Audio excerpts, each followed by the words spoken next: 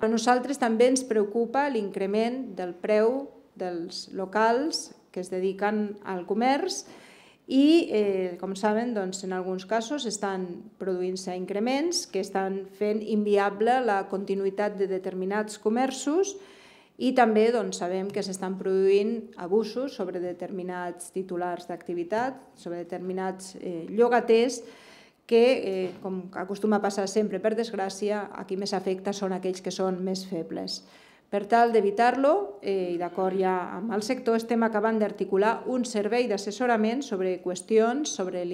com a, per exemple l'increment de lloguer o sobre el moving, el moving immobiliari. Estem treballant, insisteixo, per aconseguir que aquests, eh, tant els locals baixos com els locals en planta baixa, eh, perdó, els locals buits com els locals en planta baixa es tinguin tots l'activitat necessària per dotar el comerç de tots els barris de la nostra ciutat d'aquesta vitalitat que, que es mereix.